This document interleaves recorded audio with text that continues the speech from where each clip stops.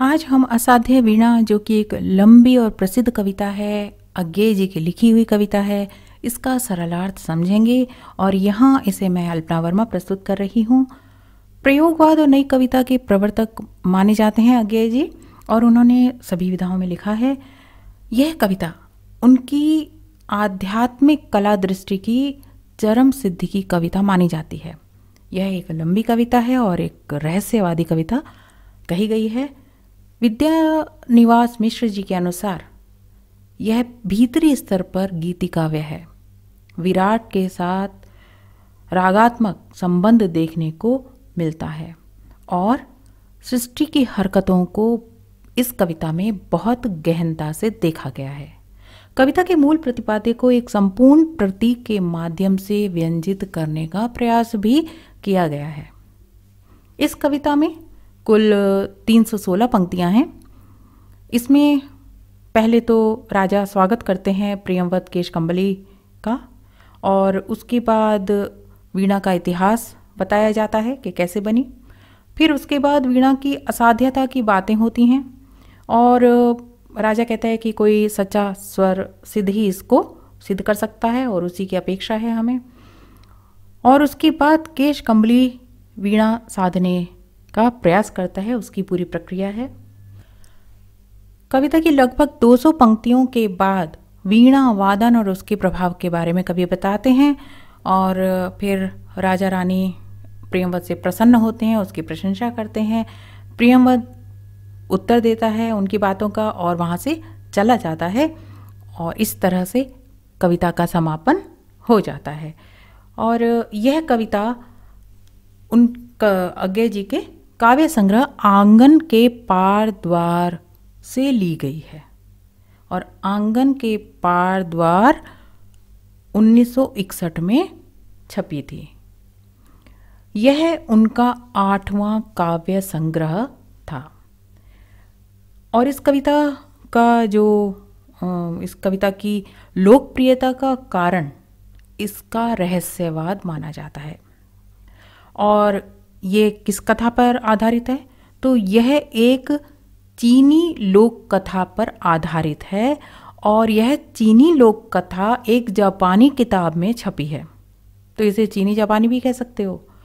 और जो जापानी किताब है, उसका नाम है द बुक ऑफ़ टी और ओका कुरा, काकुजो की किताब है ये और टोक्यो से प्रकाशित हुई थी, टोक्यो, जापान। से प्रकाशित हुई थी 1906 में और जो उसका सेकेंड एडिशन निकला था वो उन्नीस सौ सत्तावन में निकला था। और उस सेकेंड एडिशन के पेज नंबर पिचहत्तर पर यह कहानी, यह चीनी लोक कथा दी गई है, जिसका शीर्षक है दी टेमिंग ऑफ़ हार्प और उसी कहानी से प्रेरित होकर इस कविता को माना जाता है।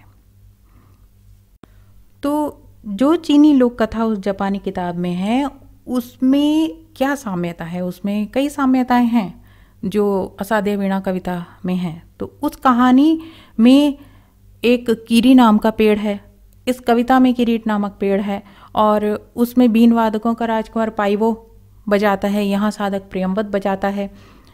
तो हम कह सकते हैं कि चीनी जापानी कथा अगर आप चीनी कथा से खुश नहीं है कि चीनी कथा से प्रेरित है तो हम इसे चीनी जापानी कथा कह सकते हैं।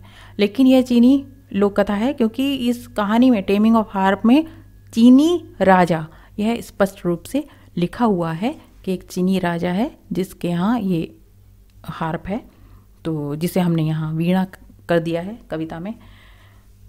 और बौद्ध धर्म के एक संप्रदाय, झेन या जैन, जो ध्यान संप्रदाय की कहानी है, उसे ये कहानी ली गई है। The taming of the harp और टेमिंग ऑफ़ द हार्प से प्रेरित होकर अज्ञे जी ने असाध्य वीणा कविता लिखी। तो इसमें हम, जो मूल तत्व है इसका, वह यह है कि सत्य का ज्ञान वस्तुतः आत्मज्ञान होता है और इस ज्ञान को आप बाहरी आडंबरों से या किसी किताब से प्राप्त नहीं कर सकते। किरीटी तरु परम सत्य का प्रतीक है, जिससे वीणा बनाई गई है और उसका संगीत उस सत्य की अभिव्यक्ति है।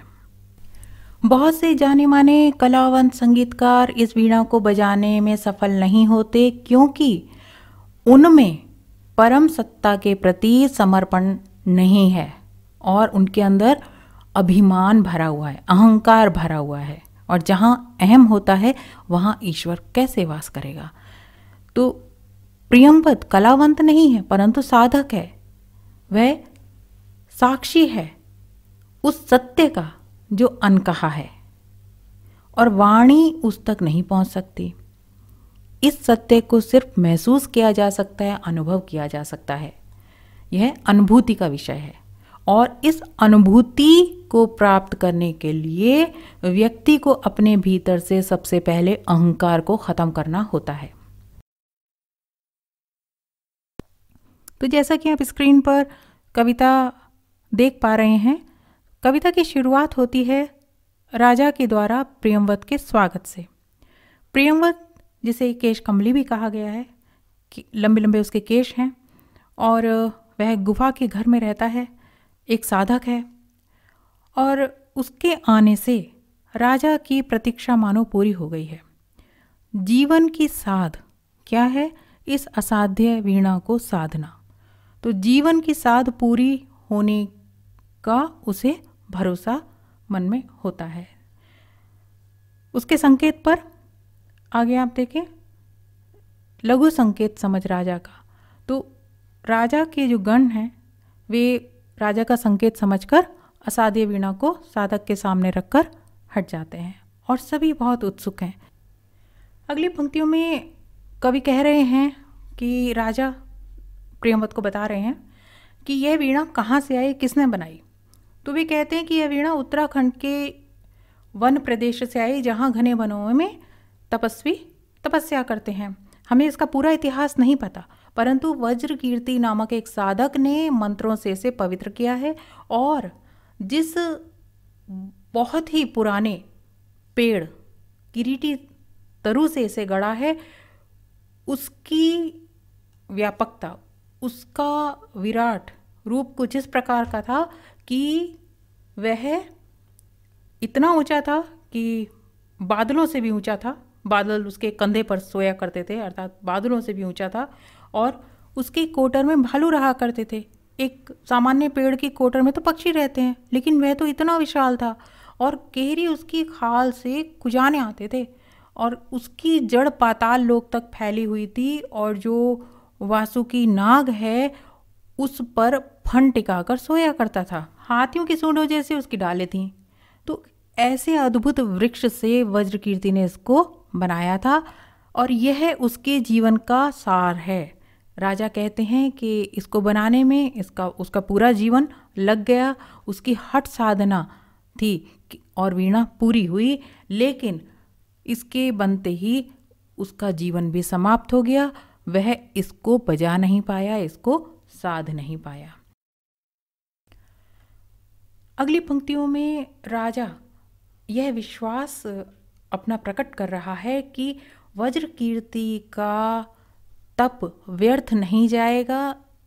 सच्चा स्वर सिद्ध जब इस वीणा को अपनी गोद में लेगा, तब यह वीणा अवश्य बजेगी। अर्थात वज्र कीर्ति जैसा एक समर्पित साधक जब इस वीणा को हाथ लगाएगा, तब यह वीणा सद पाएगी। तो ऐसा सच्चा स्वर सिद्ध जो तप में समर्पित हो, एकाग्रता में अनन्य हो। वह ही इसको साध सकेगा। तो यहाँ अब आगे की पंक्ति में राजा कह रहे हैं कि तात प्रियम लो, तुम्हारे सामने यह वज्र कीर्ति की वीणा रखी है। मैं, रानी और सभा सभी बहुत उत्सुक हैं और सभी प्रतीक्षा कर रहे हैं कि कब इसके स्वर गूंजें। अब इसके बाद केश कंबली गुफा गेहे ने खोला, कंबल धरती पर चुपचाप बिछाया। केश कंबली ने अपना कंबल खोलकर धरती पर बिछाया और उस पर वीणा रख दी। पलकी मूंद ली प्राण खींचा और प्रणाम किया। प्राण खींचना, प्राणों को साधना और पलके मूंदना, यानी अपने भीतर ध्यान लगाना। तो ध्यान लगाकर उसने उस वीणा को प्रणाम किया अस्पर्श छुअन से छुए तार। धीरे बोला, राजन, पर मैं तो कलावंत हूँ नहीं, शिष्य साधक हूँ। और इस तरह की वीणा जिसके बारे में इतना कुछ कहा सुना गया कि यह असाध्य है और कठिन है तो कहीं ना कहीं उसे संदेह है, संकोच है कि यह कठिन कार्य वह कर पाएगा। उसकी साधना शक्ति इस कठिन कार्य को पूरा करने में सफल होगी या नहीं? उसकी शक्ति पूरी पड़ेगी या नहीं? तो अस्पर्श छुअन से छूना यह संकोच की भावना को भी व्यक्त करता है, क्योंकि उसके आगे की पंक्तियाँ इस अर्थ का, इस भाव का समर्थन करती हैं, क्योंकि वह कह रहा है, धीरे से कहता है, राजन, पर मैं तो कलावंत हूँ नहीं, शिष्य साधक हूँ, जीवन के अनकहे सत्य का साक्षी। तो वह राजा से निवेदन कर रहा है कि मैं आपका आदेश नहीं टाल सका, अतः मैंने उसे बजाने के लिए लिया। लेकिन अब स्वर साधना के लिए ले तो लिया है। मैं अपनी असमर्थता के बारे में आपको बताना चाहता हूँ कि मैं कोई प्रवीण कलाकार, यानी निपुण वादक नहीं हूँ। मैं कोई गुरु नहीं हूँ, केवल शिष्य हूँ।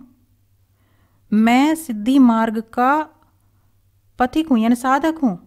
मैं कोई सिद्ध नहीं हूँ। मैं सत्य की खोज में हूँ, उस रास्ते पर चल रहा हूँ। लेकिन अभी तक मैंने उस सत्य को पाया नहीं है। फिर आगे भी कह रहा है कि वज्र कीर्ति प्राचीन किरीटी तरु अभिमंत्रित वीणा। आपने वज्र कीर्ति साधक के विषय में बताया, वृक्ष के बारे में बताया, उसकी व्यापकता के बारे में बताया, उसकी विराटता के बारे में बताया। और वीणा, जिसे मंत्रों से पवित्र किया गया है, उसके विषय में बताया, इन सब के ध्यान मात्र से, स्मरण मात्र से ही मैं भाव विभोर हो रहा हूँ।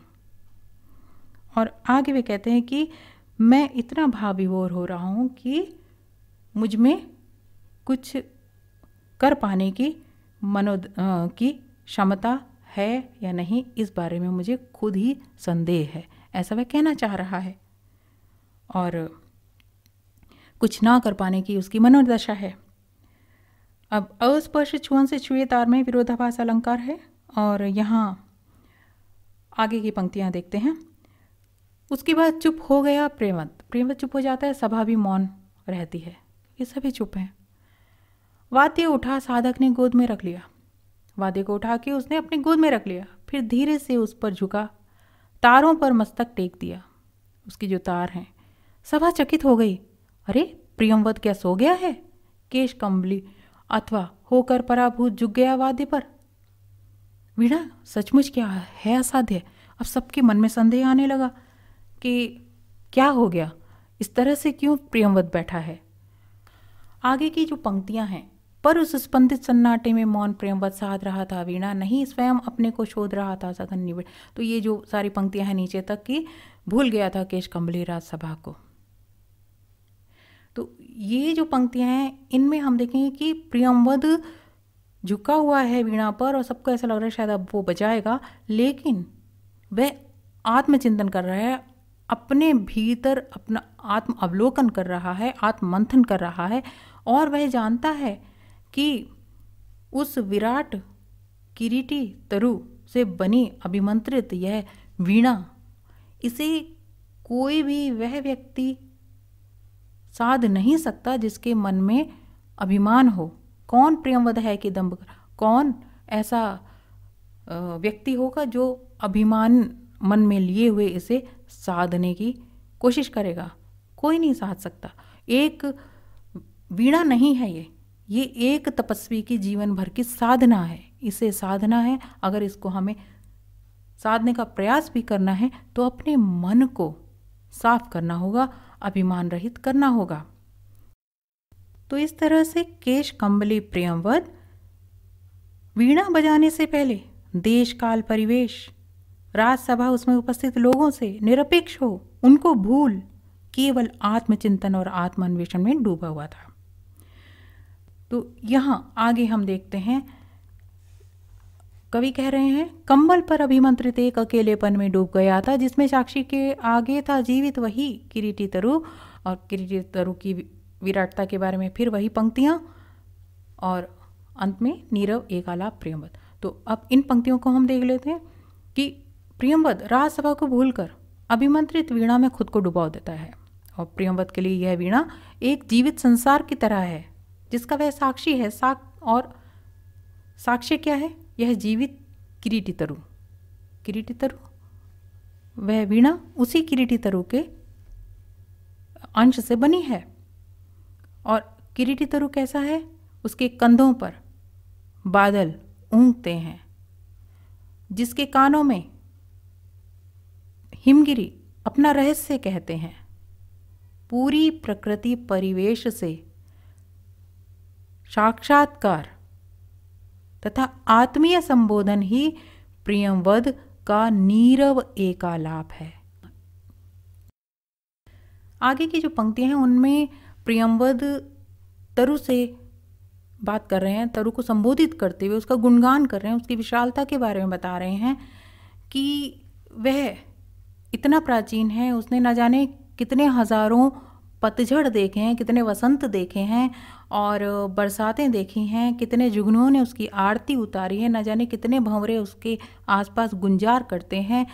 रातों को झिंगुरों ने बिन, बिना रुके, बिना थके मंगल गान सुनाए हैं और सुबह शाम जिसकी डालें पक्षियों के समूहों के खेलने के कारण काँप जाती थी, वह इतना विशाल है, इतना दीर्घकाय है, उस किरीट तरु के बारे में, उस किरीट तरु को वे कहते हैं कि तुम तो पूरे झारखंड के अग्रज हो, यानी सबसे बड़े हो, पूरे वन प्रदेश के। तात सखा गुरु आश्रय त्राता महच्छाय, ओ व्याकुल मुखरित वंध्वनि वंध्वनियों के वृंदगान के मूर्त रूप, मैं तुझे सुनूं, देखूँ, ध्याऊं अनिमेश स्तब्ध, संयत संयुक्त निर्वाह कहाँ साहस पाऊँ? मैं मतलब उसमें, उसकी इतनी विशालता है, वह इतना विराट है, उसको छेड़ने का, उसको साधने का वह कैसे प्रयास करें? क्योंकि उस वीणा में, उस किरीटी तरु का अंश है। तो उस वीणा के लिए ये कह रहे हैं, उस किरीटी तरु का ध्यान करते हुए, जिस किरीटी तरु से ये बनी है तो वे कह रहे हैं कि इस वीणा को साधने का मैं कैसे साहस पाऊँ? यह संकोच उसे रोकता है और उसका ध्यान गोद में रखी वीणा पर जाता है। तो वह कहता है कि वीणा मेरी गोद में रखी है रखी रहे।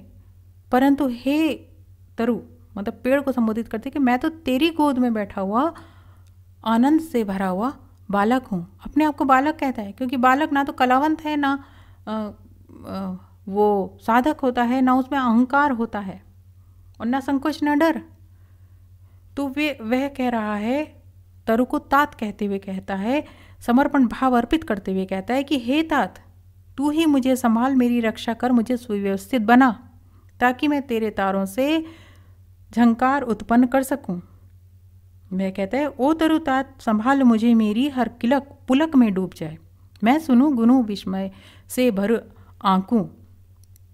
तो वह कहता है कि जब तक तू ऐसा नहीं करेगा, आगे वे कह रहा है कि जब तक तू ऐसा नहीं करेगा, तेरे माध्यम से संगीत स्वर निकाल कर राजा और उसकी सभा को संतुष्ट नहीं कर पाऊँगा। मैं चाहता हूँ कि हम और तुम एक हो जाएँ, हमारा, हम एक दूसरे से अभिन्न हो जाएँ। यदि ऐसा हो जाए तो मैं तेरी गोद में शिशु के समान मचलता, किलकारी भरता, मैं तुझे अपनी प्रसन्नता से, बाल सुलभ क्रीड़ाओं से प्रमुदित पुलकित कर सकूँगा। और दूसरी ओर मैं तेरी आत्मा की अंतर्वाणी सुनकर उसमें समिष्ट भावों और विचारों पर चिंतन मन कर सकूँगा, तेरे अनुभव को जान सकूँगा और उनसे सीखकर जीवन की समीक्षा करता रहूँगा। वह आगे कहते, तेरे अनुभव का एक एक अंतस्वर, तेरे दोलन की लोरी पर झूमू मैं तन्मय, गा तू। तो वह कहता है कि मैं चाहता हूँ कि जैसे माँ की गोद में या पालने पर लेटा हुआ बच्चा माँ की मधुर लोरी सुनता हुआ प्रसन्न होता है, कानों में अमृत सा घूलने घुलने के कारण मीठी नींद सोता है। उसी प्रकार मैं भी तेरी स्वर लहरियों पर झूमूं। हे वीणा, तू गा। तू मीठी लोरियाँ सुना। तेरी प्रत्येक लय के अनुरूप, तेरी लय पर मेरी साँसें गिरें पूरे, रीतें विश्रांति पाएँ। तो तेरी जो लय है, उसके उठने गिरने के साथ मेरी साँसें उठेंगी गिरेंगी। तेरा संगीत सुनकर मैं पूर्ण विश्रांति का अनुभव करूँगा। इसलिए मैं चाहता हूँ कि तू गा और मैं तेरी प्रत्येक लय के साथ एक तान हो जाऊँ।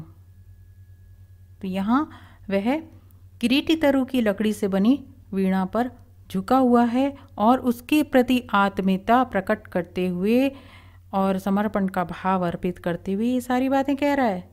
किरीटी तरु का ध्यान करता है, उसके प्रति अपने आप को पूरी तरह समर्पित करता है।